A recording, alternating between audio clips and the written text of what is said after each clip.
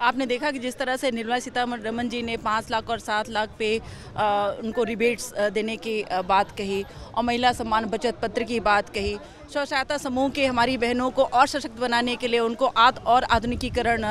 की ओर प्रेरित करके और उनको स्वावलंबन की दिशा में और अग्रसित करने के लिए बात की तो आपने देखा कि हमारे देश के नेतृत्व आदरणीय प्रधानमंत्री नरेंद्र भाई मोदी जी के द्वारा